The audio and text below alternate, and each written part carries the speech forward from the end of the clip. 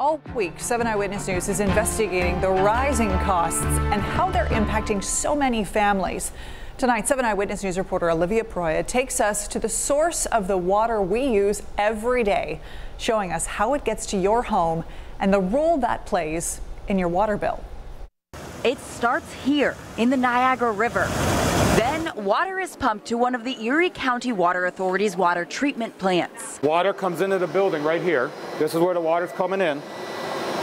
And the very first part of the process, we had a chemical called a coagulant. The coagulant causes particles in the water to bind together, making them easier to remove. And then it goes down to the next room here where we'll go into. Okay. The next step is called flocculation. The water flowing is right below us in a trough and then the water's flowing that way. Large paddles underneath each of these blue mixers slowly stir the water to get unwanted particles like dirt to bind together. So right now, we're this is just part of the process to remove like dirt and sediment in the water. We call, you know, when we say dirt, dirt is a very broad word.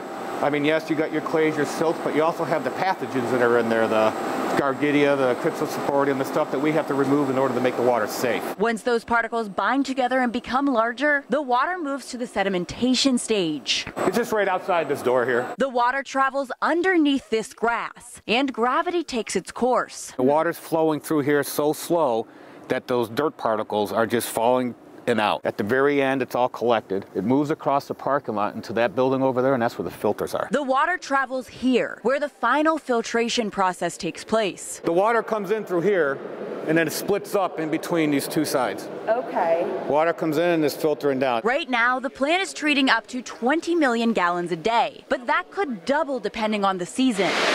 After 90 hours of use, each filter is cleaned through the backwashing process water turns brown, you can see all the dirt the filter collected being washed away.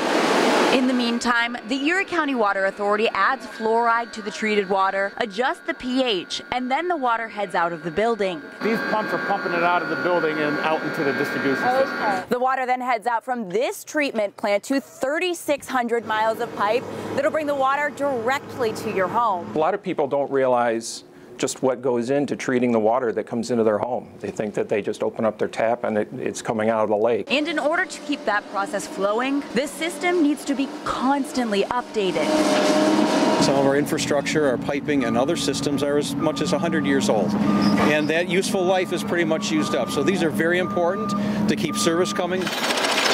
You're looking at a $3.2 million project where the Erie County Water Authority is swapping out nearly 8,000 feet of an 8-inch cast iron line installed in 1926. We've had a number of leaks on that and over the years, and so it's time to upgrade that, and so we're replacing it with a ductile iron 12-inch water main. At nearly every point in this process, the Erie County Water Authority is monitoring water quality. We test the water um, in accordance with the uh, EPA and State Health Department mandates. We test, we have daily testing for bacteriology. We test quarterly for chemicals like disinfection byproducts. Like say 200, 230 people all working together to make sure everything comes out all right. Olivia Proia, 7 Eyewitness News.